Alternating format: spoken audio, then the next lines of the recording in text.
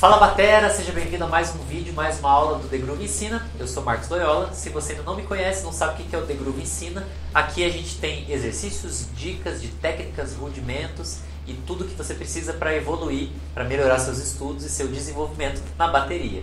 E se você não é inscrito, se inscreve no nosso canal, ativa as notificações. Se você gostar desse vídeo, deixa um like aí pra gente e um comentário, um feedback. Isso é muito importante para que a gente saiba que a gente está no caminho certo e para que esse conteúdo chegue em cada vez mais pessoas. Bora para aula então. Bom, a gente vem na sequência né, estudando as frases importantes do samba e hoje a gente vai fazer uma frase que é chamada de samba, beleza? Fácil de lembrar pelo menos. Como que vai ser o som dessa frase, dessa célula rítmica? Vai ser isso aqui. 3, 4, 1, 2, 1, 2, 1, 2, 1, 2, 1,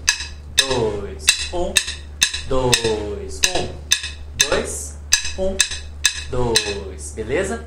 Memoriza isso, toca né, na baqueta, batendo palmas, cantando, e aí depois a gente vai aplicar nos acentos. Fazendo devagarinho aqui com os acentos vai ficar 3, 4, 1, 2, 1, 2, 1, 2, 1, 2, 1, 2, 1, 2, um pouquinho mais rápido. Um, dois, um, dois,